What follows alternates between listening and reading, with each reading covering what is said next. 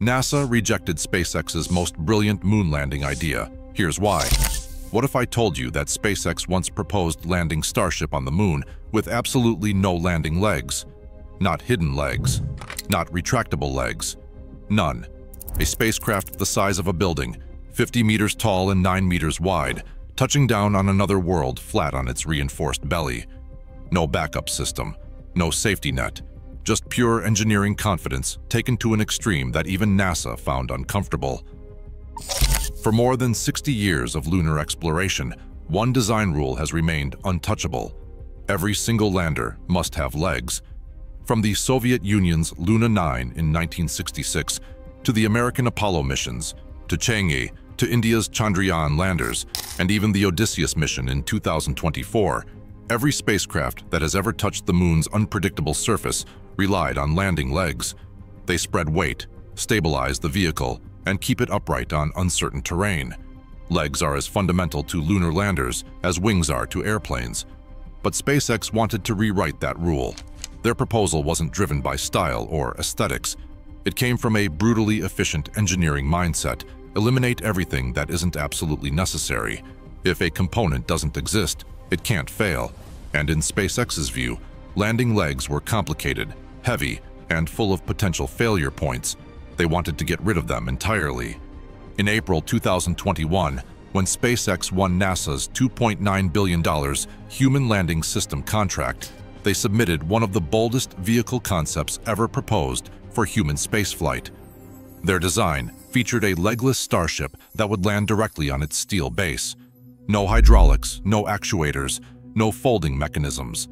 Instead, the entire lower hull would serve as the landing structure.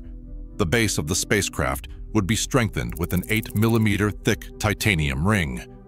Below that, a crushable skirt made from 3D printed aluminum foam would act as a shock absorber.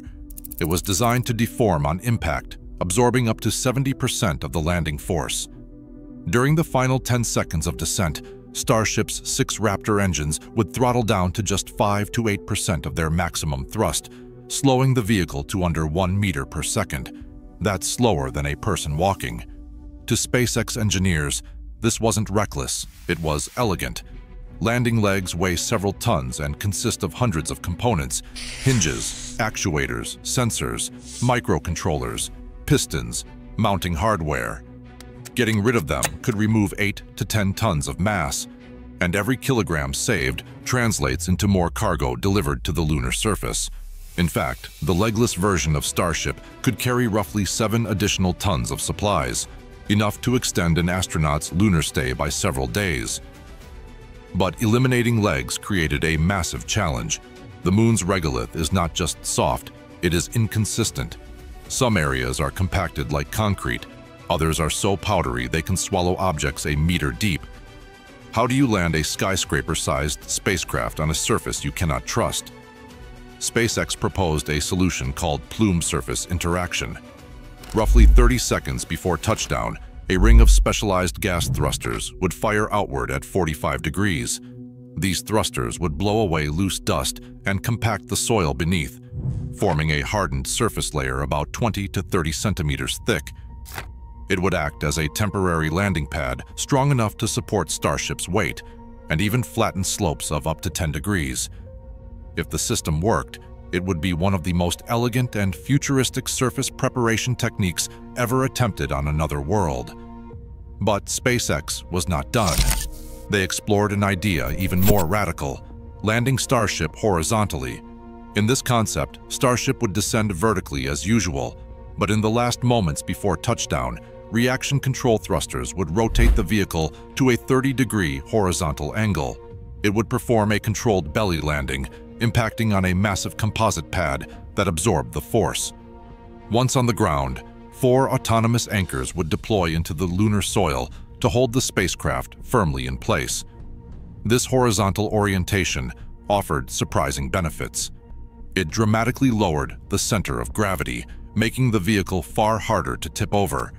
It also spread the mass across a huge area, around 160 square meters, reducing surface pressure by more than 10 times compared to a vertical landing. And best of all, astronauts would not need a 30-meter elevator to reach the surface. They could simply walk down a 3-meter staircase.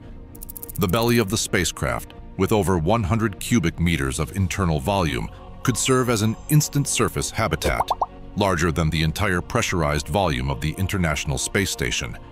Now, if this kind of deep dive into real aerospace engineering fascinates you as much as it does me, do me a favor and hit that subscribe button and ring the notification bell. We are building toward 150,000 subscribers, and honestly, your support is what makes videos like this possible. Let us keep exploring these incredible ideas together. But here's what NASA saw that SpaceX's engineers did not want to admit. The first issue was structural. Starship was designed to fly vertically, not to lie on its side on another world. Tilting a 50-meter steel cylinder creates enormous bending stresses that the airframe was never designed to handle. And inside the vehicle, large volumes of cryogenic fuel could slosh unpredictably in the moon's low gravity, shifting the center of mass in ways that might destabilize the vehicle both during landing and afterward. The second problem was deceptively simple. Once Starship was horizontal, how would it stand back up? On Earth, lifting a 1,200-ton vehicle requires cranes and heavy machinery. On the Moon, the challenge becomes nearly impossible. If the spacecraft cannot be raised, then it cannot take off again. A horizontal landing essentially meant a one-way mission unless a massive lunar lifting system was developed adding weight and complexity that defeated the entire purpose. Then there was the toppling risk. With landing legs, multiple contact points spread the load. If one leg sinks deeper than the others, the vehicle can still adjust and remain upright. But with a flat base, any unevenness in the terrain becomes catastrophic. If one side of the spacecraft sank even a single meter deeper than the other, the resulting tilt, around 25 degrees, would cause the entire vehicle to topple. Imagine trying to stand a refrigerator upright on a beach. If even one corner sinks a little deeper, the whole thing goes over instantly. Next came the problem of engine exhaust. Even at minimum throttle, Raptor engines produce exhaust velocities of more than 2,000 meters per second. Simulations showed that firing these engines close to the lunar surface could dig out a crater 1 to 2 meters deep undermining the very landing pad the plume interaction system created. And the dust kicked up from that blast, razor-sharp and electrostatically charged lunar regolith, could sandblast equipment, coat sensors, infiltrate seals, and pose serious health risks to astronauts. Finally, NASA's strictest requirement is redundancy for human spacecraft. Human spacecraft must have two independent layers of fault tolerance. The legless Starship design did not meet that standard. A single engine failure or nozzle malfunction during the final moments of descent could cause unbalanced thrust, leading to a loss of control. No legs meant no backup support structure, no redundancy, no safety margin. For an uncrewed lander, this risk might be acceptable. For crewed missions, NASA considered it too risky. By late 2022, after multiple reviews, NASA concluded that the legless landing concept simply carried too many unknowns. It was not that the idea lacked brilliance. It just asked astronauts to trust too many unproven assumptions on a world that does not forgive mistakes.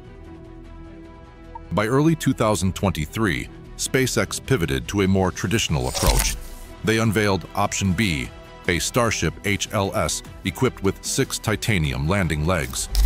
These legs used retractable self-leveling hydraulic pistons and honeycomb shock absorbers capable of handling slopes up to 15 degrees. Yes, the system added weight and complexity, but it also added stability and redundancy and credibility, traits NASA considers non-negotiable for human missions. In the end, the choice came down to a battle between visionary innovation and proven reliability. SpaceX's legless lander represented one of the most daring engineering concepts ever proposed. But the moon rewards caution, not boldness. Physics imposes limits, regardless of ambition. So, what would you choose? The revolutionary legless lander that pushes engineering forward but carries enormous risk? Or the heavier, safer, more traditional lander that may not look as futuristic but is far more likely to bring astronauts home. Let me know your thoughts in the comments below. One thing is certain. SpaceX's radical landing concepts are not gone forever. They are simply waiting for the right era. When humanity begins building permanent lunar bases, laying down landing pads, and constructing local infrastructure, techniques like plume surface interaction and horizontal landing may finally become practical. In the history of spaceflight, no idea truly dies. It just waits for the moment when technology and the environment catch up. If this deep dive into one of SpaceX's boldest proposals captivated you, then be part of what we are building here. We release weekly explorations of cutting-edge space technology, the untold engineering stories behind historic missions, and the innovations that will take us to Mars and beyond. Hit subscribe, turn on notifications, and join a community that goes beyond the headlines to understand how humanity actually conquers space. Let's reach for the stars together.